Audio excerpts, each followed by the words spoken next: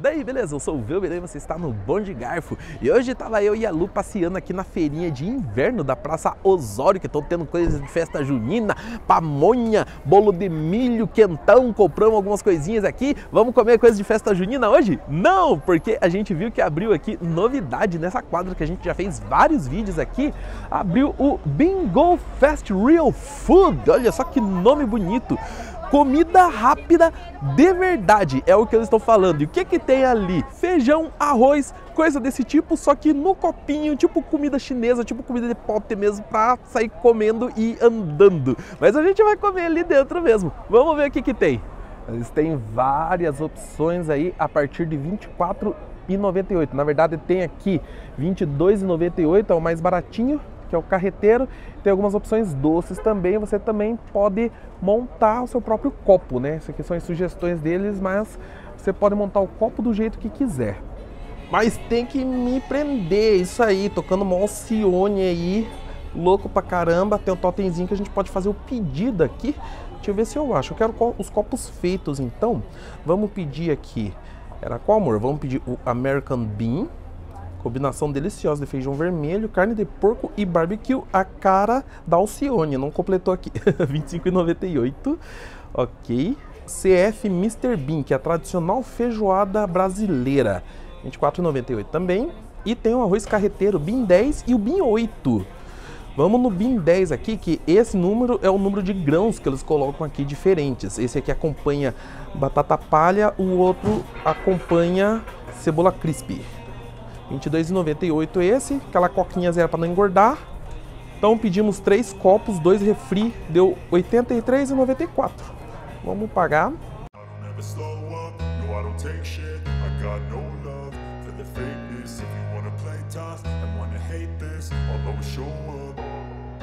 I don't ever slow up, no I don't take shit I got no love for the fakeness If you wanna play tough and wanna hate I'll always show up and make a statement. I don't ever slow up, no I don't take shit. I've got no love. For the fakeness If you wanna play tough and wanna hate this I'll always show up and make a statement. Everything I do so instinctive and so passionate. Every word I move so descriptive like an adjective. I got a vendetta against people who patented Being negative when you should be getting after it I got facts over facts over tracks, this and that. Spitting slow, spitting fast, I could roast, I could gas. Think I'm okay at last, but I don't know if that can erase all the past the Aqui é street food de tudo, comida de rua mesmo pra gente comer de pé de preferência. Tem o banquinho aqui, né, pra gente sentar, mas vou fazer de pé porque eu gostei tanto do neonzinho aqui, vai ficar colorindo o vídeo. Os copos aqui, eles chamam de CF, não é PF, é CF, de copo feito. Bem bacana aí, gostei bastante do esquema da montagem deles, né? Que aqui eles estão a cozinha tipo num aquáriozinho, então a gente consegue ver eles montando, fazer todo o processo aí. Bem bacana mesmo. Então aqui tá nosso primeiro copo que a gente vai experimentar. Esse aqui é o da feijoada? Acho que é, né? Tem aqui torresminho em cima. Hum. Super crocante. Hum. Delícia, hein? Voou. O detalhe é que eles servem pra gente com uma colher, gente. Uma colherzinha de plástico. Bem boa colherinha, firminha. Mas assim, vamos comer feijoada com colher. Eu quero ver como é que eu vou cutucar a feijoada aqui embaixo com esse monte de torresmo em cima, né? Aí eu tenho a solução. A solução? Comer o torresmo antes? Vai lá, minha filha. Torresmeira aí. A Lu tá me ajudando, gente. tá ruim, hein, amor? Nossa, Tá difícil a vida? Uhum. É, rapaz, que é bom de garfo a gente trabalha. Tá achando o quê? Com licença que eu tô trabalhando, hein? Olha só, a farofinha. Nossa. Ela vem em saquinho, né? Isso, lá dentro eles... Isso aqui tudo vem em saco. Eles vão colocando água para misturar, é, para esquentar e tal, mas a comida vem toda em saquinho lá dentro, eles montam ali pra gente daí. Então tá aqui um arroz, uma farofinha. Hum. Hum. Bom, hein? Delícia. A farofa não fica crocante, né? Ela fica bem molinha aqui. Com o arroz, com o caldo aqui do feijão também. É, a farofa bem salgadinha, muito temperada. Muito, muito, muito, muito temperada. Dá pra sentir bastante o alho. Parece que tem bacon também. E olha só. O feijão. Eu perdi, gente. Eu- mas eu acho que esse aqui é a feijoada. Não tenho certeza, tá? Essa aqui é a feijoada, né? Outro feijão é diferente. Uhum, olha só. Tem a ideia da feijoada, tem uns pedacinhos de carne aqui, certo? Não é aquelas feijoadona de sábado no restaurante, que tem aqueles pedação grande e tal, são pedacinhos pequenininhos, mas tá bem caprichadinho. Hum. Hum. Olha só, o feijão tem bastante caldinho, tá bem cozidinho. O sabor é bom, ele dá uma sensação de comida fresca, mas no sabor a gente sente aquele totalzinho de comida industrializada, tá? Não é assim total comida de restaurante, né? Mas considerando e todo o processo que eles fizeram, né? Como que é feita aqui a comida, eu achei que o sabor tá muito bom. Hum. E olha, é bastante comida, viu? Potinho desse daqui engana que é uma beleza. Isso aqui é bastante comida. Já dei altas colheradas, nem coçou o pote direito. Isso aqui dá um almoçaço tranquilo, viu? Potinho número 2. Esse aqui tem batata palha, couve em cima. Qual será que é? A moça ela falou, na verdade, mas eu esqueci. qual é qual? Não dá pra ver. Deixa eu cutucar aqui primeiro. Uh, as batata palha pulando. Hum, batata palha tá com uma cara boa. Hum.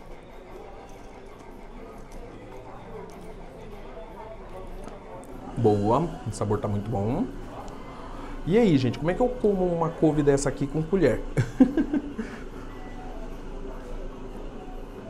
hum. Hum.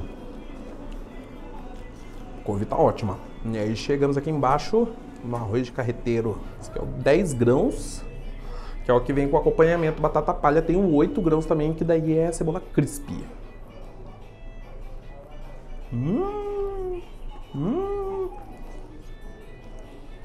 Hum.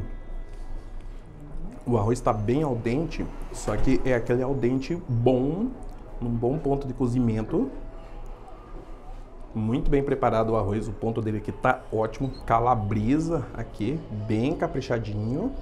E os grãos, né? Dá pra ver aí, misturado no arroz, realmente tem um monte de grãozinho diferente. Hum. Hum. Quais são os grãos? Aí eu não sei, tá? É um monte de grão aqui. A cara dele lembra bastante a do arroz carreteiro, mas no sabor lembra um pouquinho algumas coisinhas né, de comida nordestina que eu já comi. Hum. Um pouquinho.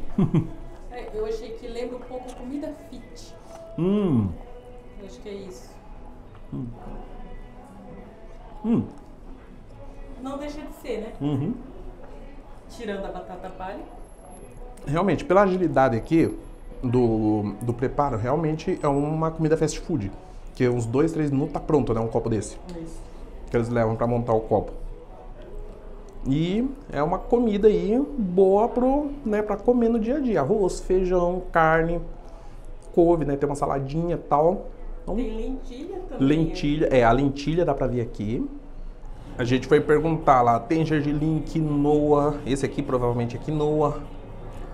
As bolinhas pretas, né? Aham, é que essas chamam bastante atenção aqui, né? E ó, eles mandam também a cada copo um sachêzinho aqui de pimenta cepera. Aí você falou que não tinha cepera aqui, olha só. É, achamos. Deixa eu abrir. Ó, quando eu fui pra Brasília, eu vi cepera lá e não, não conhecia. O pessoal ficou revoltado que eu não conhecia cepera aqui no sul. Mas tem sim, ó. Primeiro lugar que a gente foi, aí depois do, do rolê em Brasília, a gente achou. Então, coloquei só um pouquinho de pimenta. Bem pouquinho. Pra ver se ela é boa.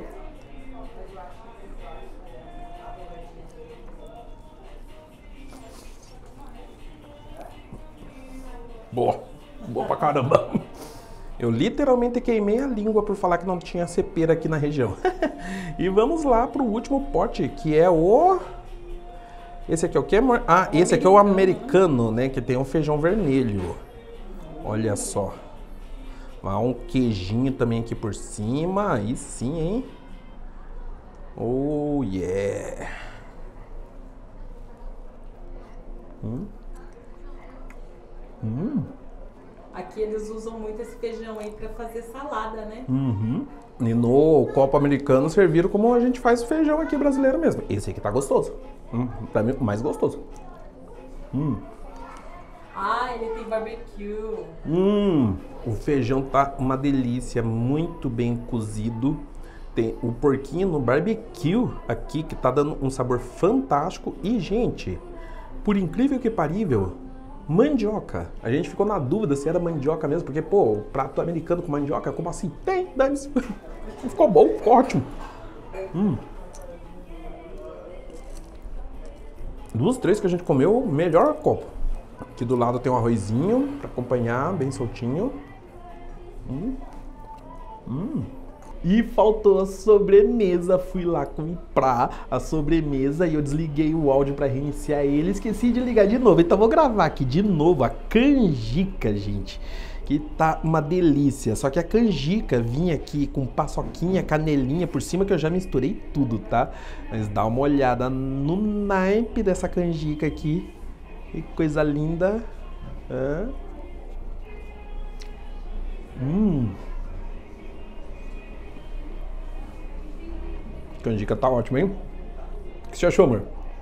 Gostoso. Hum, olha o caldinho.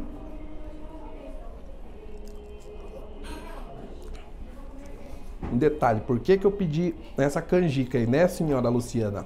Dona Luciana, senhora minha mulher, essa que vos grava, Essa santa. essa santa, ela passa o ano inteiro falando que quer comer coisa de festa junina. Ai, amor, que vontade de comer canjica, que vontade de comer pamonha, que vontade de comer bolo de milho. Ai, quentão, que gostoso. É, chega a época, gente, chega final de junho, final de julho, que aparece as festinhas, feirinha e tudo mais. Amor, vamos lá na festinha junina, comer as coisas que você quer. Ah, não. Ah, ó, tá tendo festa junina ali. Ah, não. E no resto do ano fica pedindo. Dessa vez a gente tava passando ali pela feirinha da Osório, né? Feira de inverno, que tava tendo coisa de festa junina. Catei quentão, botei quentão nessa mulher aí, gente. Tá toda alegrinha lá, com bochecha toda vermelhinha. O quentão comprei aqui, ó, um bolo de milho, comprei uma pamonha. Falei pra ela, olha, esse daí vamos comer em casa, né? Falei pra ela, olha, você pede essas coisas, quando eu achar, eu vou comprar ela. Cadê minha canjica então?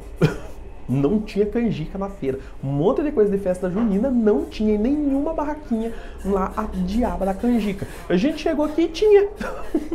Então daí eu comprei uma canjica pra ela. Gostou, amor, da canjica? Ai, gostei, mas obrigada. É, eu só dei uma bicadinha ali que esse é da Lu, tá? Só pra mostrar pra vocês mesmo. Então tá aí a nossa experiência no Bingo Fast Real Food, que é uma proposta aí que eu não conhecia ainda, bem diferente, que eles têm as comidas tudo em saquinho, né? Tudo desidratado lá, que eles hidratam, montam no copo e fica parecendo que a gente tá comendo um PF dentro do copo, mas é tudo bem ágil, bem rápido de montar.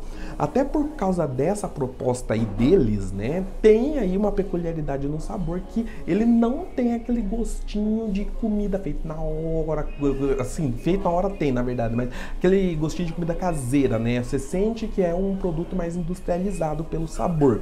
Só que mesmo assim, dentro da proposta, do tipo, do formato, da rapidez, da agilidade que eles vendem, né, na categoria fast food, comida é muito gostosa, bem temperada, bem preparada, então dá para curtir legal sim.